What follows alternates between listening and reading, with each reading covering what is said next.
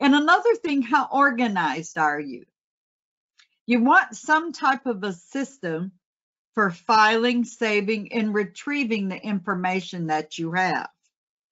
Get a good resource guidebook or books to go or something that you can always go back to.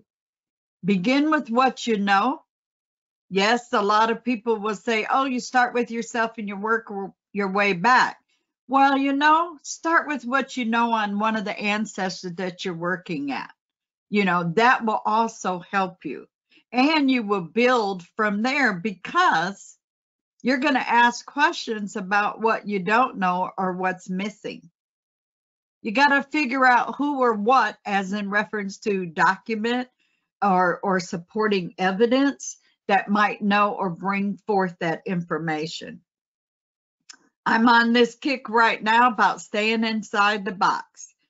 People will tell you, jump outside the box, expand your research, this, that, and other.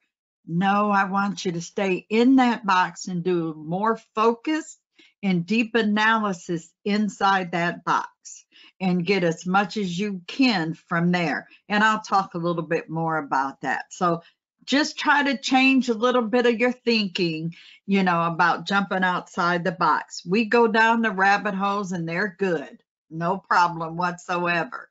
But you want to go down a rabbit hole that's going to deliver something in the end. You know you're going to have challenges. It doesn't matter if it's African American, European, whatever.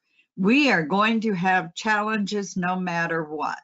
So, you know what? Just accept the fact they're there and change your thinking that if I have challenges, that means I'm going to strengthen my research skills because I'm going to have to work a little bit harder. And again, stick to the basics. Okay the basics about genealogical research. You got to get organized. You know, we all have this stuff all over the place. We got files, we got books, we got stacks, and it is overwhelming.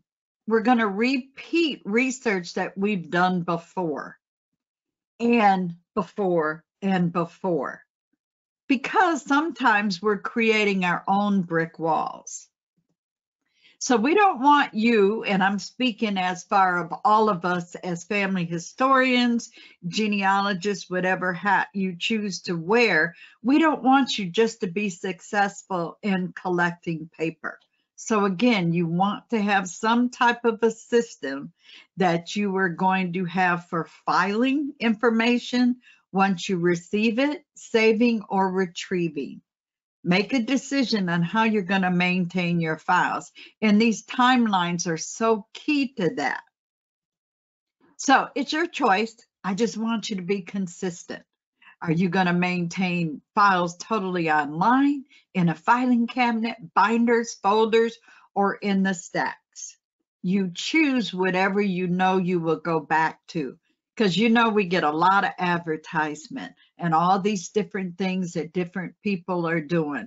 This is why I push so much to stick with the basics because we end up after we went down rabbit holes and did all this other stuff, we typically will come back to the basic strategies and methods no matter what. So build from there because they're tried and true methods.